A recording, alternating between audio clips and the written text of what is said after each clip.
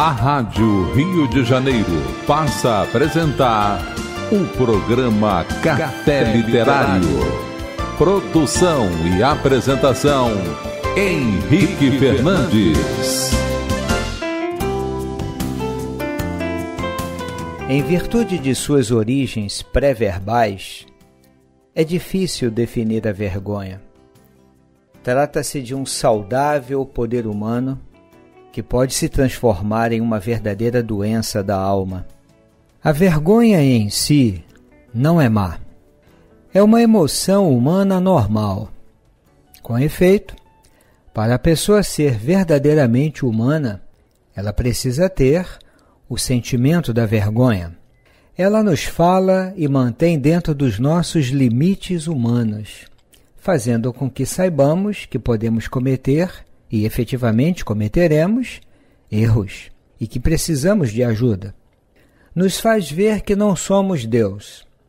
A vergonha saudável é a base psicológica da humildade, é a fonte da espiritualidade. Descobrir que a vergonha, como emoção humana saudável, pode se transformar na vergonha como maneira de ser. E assim, assumir o controle de toda a nossa identidade.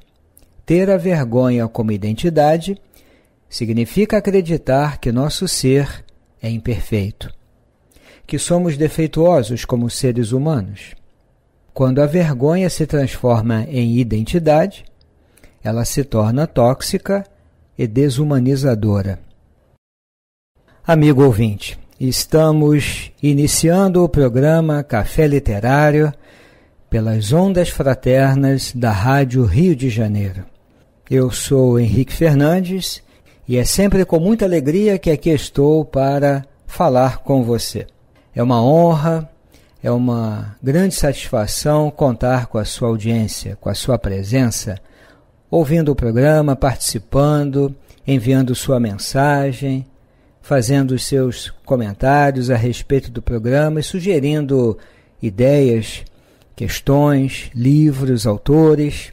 No último programa, nós fizemos referência a uma obra lançada aqui no Brasil, não tem muito tempo, pela editora Artmed, e que se trata, na realidade, de um manual prático de atenção plena e autocompaixão uma obra excelente que tivemos oportunidade de apresentar eh, de uma forma bastante ligeira, é bem verdade, porque o nosso foco foi um capítulo desse livro, que trata do tema da vergonha. Então, na oportunidade, comentamos que a vergonha é um tema desafiador, seja na experiência de cada um, no contexto da sua própria vida, seja no terreno das questões clínicas de consultório, mesmo quando estamos lidando com o caminho de desenvolvimento espiritual, qualquer que seja o campo religioso, católico, espírita, budista, a vergonha é um tema sempre desafiador. E a propósito, todos nós que estamos trilhando esse caminho ou algum caminho espiritual, nós vamos nos deparar com contradições internas. Estudamos um conjunto de ensinamentos morais que propõem uma conduta equilibrada, uma conduta saudável conosco, com as pessoas, na relação com o mundo, no contexto social. Mas inúmeras vezes nos encontramos em contradição, vivendo muitos conflitos. Isso revela apenas a nossa condição humana e como somos imperfeitos, isto significa, em outras palavras, que estamos num caminho espiritual, que queremos realizar esse mergulho interior para nos descobrirmos, nos revelarmos e mudarmos padrões. Padrões de agressividade, padrões de irritabilidade, de mágoa, são desejos de vingança, são pensamentos que não desejaríamos ter sobre nós mesmos, sobre as pessoas, sobre o que as pessoas fazem e falam. Enfim, nos deparamos com um mundo íntimo imenso. Na verdade, uma imensidão de conflitos. Isso faz parte do caminho espiritual. E penso que o apóstolo Paulo, de algum modo, a isto se refere quando em Romanos 7 ele compartilha conosco uma reflexão. Porque não faço o bem que quero, mas o mal que não quero, esse faço. Talvez possamos encontrar algum paralelo entre esta reflexão de Paulo e esse mundo interno de contradições e de conflitos que nós experimentamos, não raras vezes, gerando o sentimento da vergonha. O que torna a vergonha um processo emocional tão desafiador, inclusive no campo espiritual? Porque normalmente ela está construída sobre as bases de um processo de autocrítica muito severa. A pessoa se desqualifica, não enxerga o seu valor como pessoa, ela se apequena diante de outros que são modelos, que são paradigmas, são exemplos de bondade, de perfeição na visão dela. Normalmente isso é uma idealização que ocorre nas relações humanas. Nós acreditamos que aquela pessoa está muito acima de mim, espiritualmente, moralmente, do ponto de vista ético, do ponto de vista emocional. A vergonha parte de uma certa desvalorização pessoal. É como se o indivíduo não se enxergasse nas suas qualidades, nos seus talentos, nos seus recursos.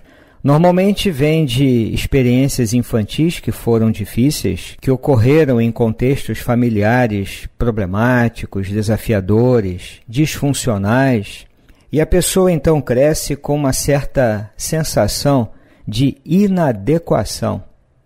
Ela cria um pacto de silêncio, pelo medo, pelo constrangimento. Como é que eu vou me expressar? O que eu tenho a dizer, eu nem posso dizer. A vergonha tem sempre um tom de silêncio.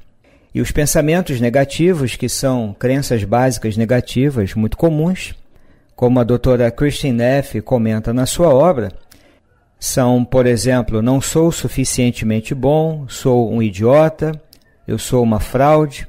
Hoje em dia muitas pessoas falam, é como se eu fosse fake. Não sou desejado, sou anormal, tenho um defeito. Eu sou inadequado, indefeso, sou mau, não tenho valor, sou fraco, sou um fracasso, incapaz. Eu não mereço ser amado. Não sou importante, sou impotente. Eu nunca dou conta de nada. E as crenças vão por aí. A obra que nós apresentamos no último programa, no seu capítulo 17, trata do tema da vergonha. Manual de Atenção Plena e Autocompaixão um guia para construir forças internas e prosperar na arte de ser o seu melhor amigo. A doutora Christine F. e o seu amigo Christopher Germer propõem exercícios importantes para lidarmos com a vergonha que nós sentimos. Porque a vergonha é mantida pelo silêncio, ela afirma isso, como falamos há pouco. E a autocompaixão é o antídoto definitivo para a vergonha. Então ela, eles propõem uma forma mais bondosa e mais consciente de nós lidarmos com esses pensamentos de autodesvalorização, essas crenças negativas básicas, uma forma mais bondosa de lidarmos com os nossos próprios erros, acolhendo a nossa condição de humanos, porque uma emoção não me define, um fracasso não me torna um fracassado, um medo não me torna medroso, um erro não me torna uma pessoa defeituosa. Então, a prática da atenção plena com autocompaixão nos ensina a validarmos as nossas emoções, acolhendo todas as nossas experiências, validando tudo isso humanos somos assim, cada um dentro do seu processo de amadurecimento. Então, o trabalho autocompassivo nos convida a essa atitude madura de autoaceitação e de maior delicadeza conosco. Um abrandamento do, da autocrítica severa e a capacidade de nos tornarmos flexíveis. É uma obra que merece a atenção. Amigo ouvinte, você está ouvindo o programa Café Literário pela Rádio Rio de Janeiro, a emissora da Fraternidade. Eu sou Henrique Fernandes e no programa de hoje nós, neste primeiro momento, retomamos um pouco a obra da doutora Christine F. e seu amigo Christopher Germer, que fala da autocompaixão. O capítulo 17 fala da vergonha e até este momento nós fizemos alguns comentários baseados ainda nessa obra. O amigo ouvinte lembra que no início do programa nós lemos um trecho bem interessante que naturalmente fala da vergonha. E nós vamos retomar esse trecho porque ele é muito importante. Vamos falar um pouco do seu autor e estabelecer um pequeno diálogo entre esses dois livros.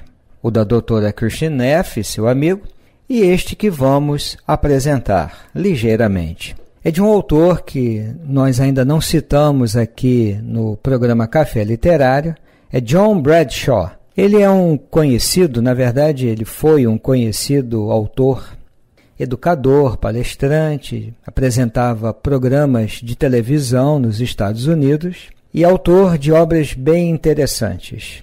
John Bradshaw faleceu há alguns anos, com 83 anos de idade, mais ou menos, se eu não estiver enganado, e se tornou bastante conhecido nos Estados Unidos, no Brasil, na Europa, através da publicação, sobretudo, de duas obras bem importantes. Uma delas se chama Curando a Vergonha que Impede de Viver, uma obra fundamentada, uma obra ampla, profunda, que aborda a vergonha sobre vários aspectos. E a outra obra dele, eu acredito que mais conhecida ainda, se chama Volta ao Lar: Como Resgatar e Defender Sua Criança Interior. Também é uma obra excelente. Tem uma terceira obra é, chamada A Criação do Amor A Grande Etapa do Crescimento.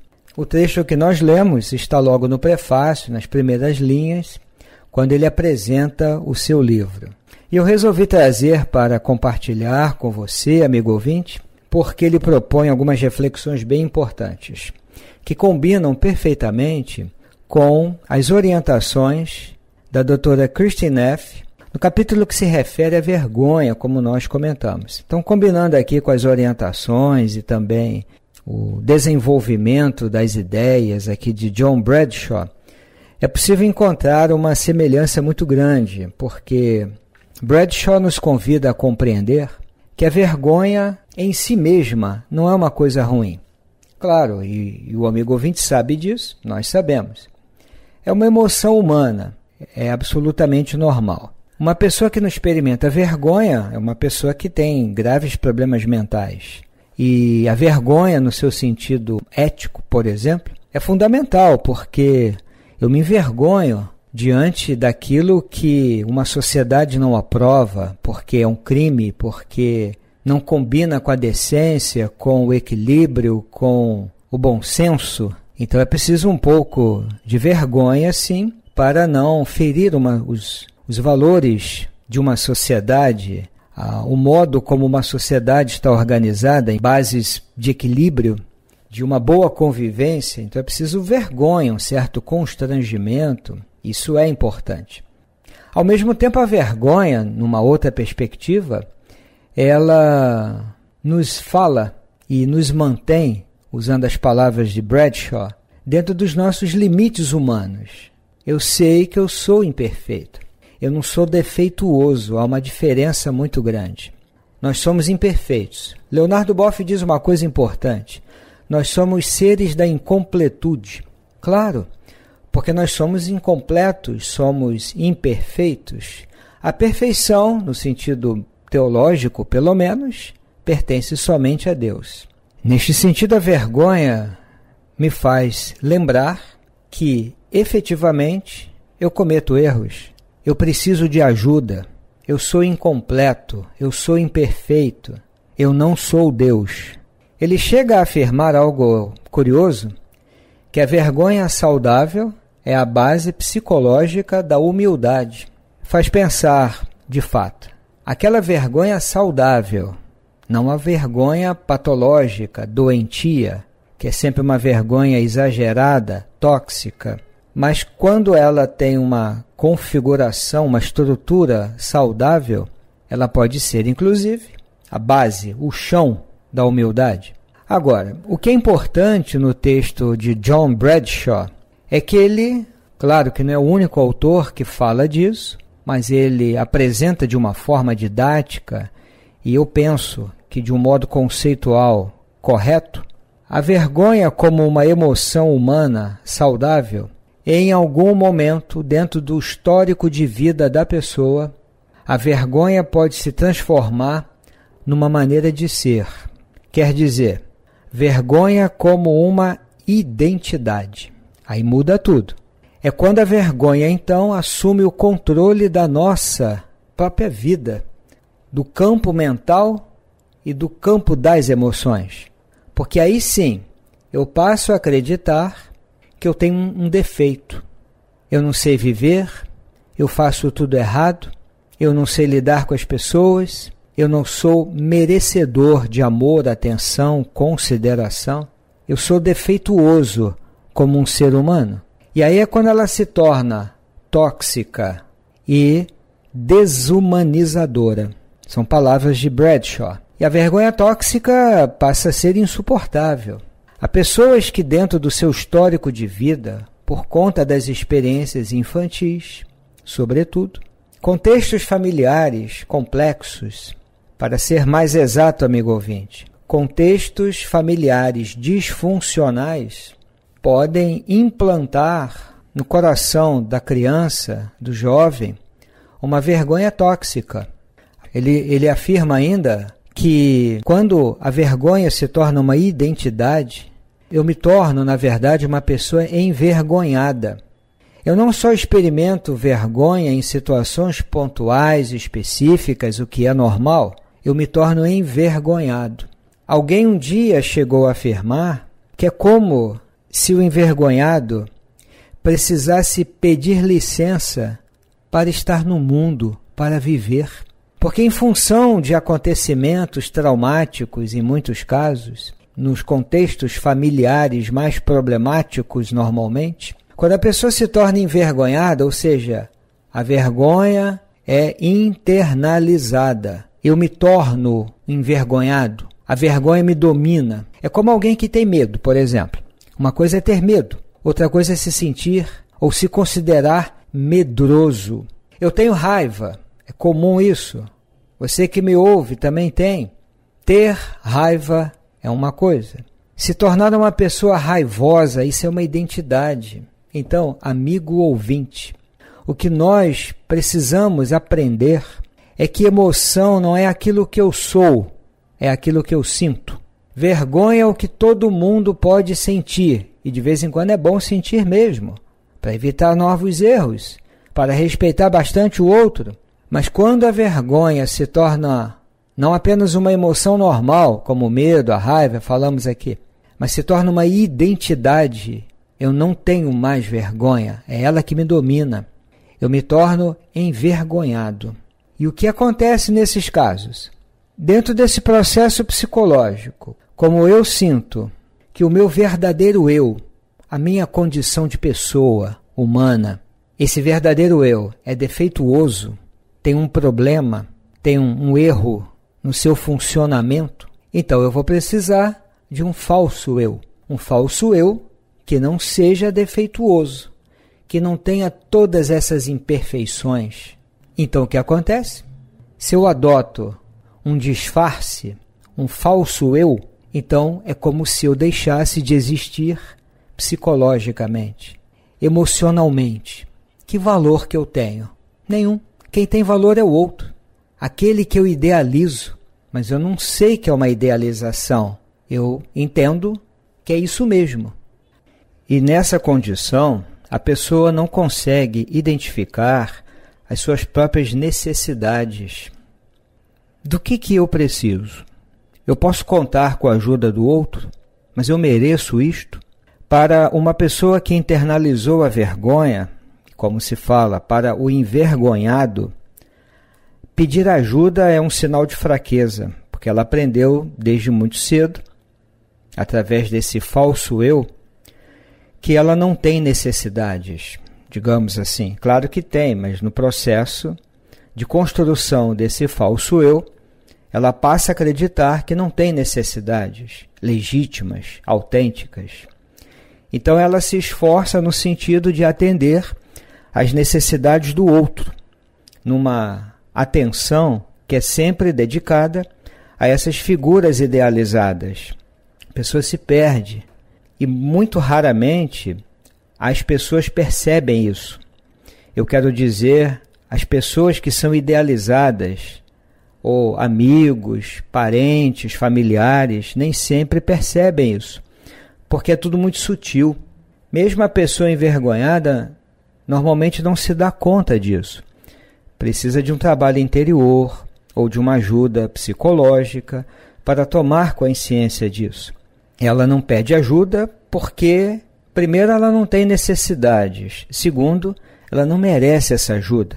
Então, quando ela se volta para o outro e se dedica e atende às necessidades do outro, ela se sente amada, ela se sente considerada, validada.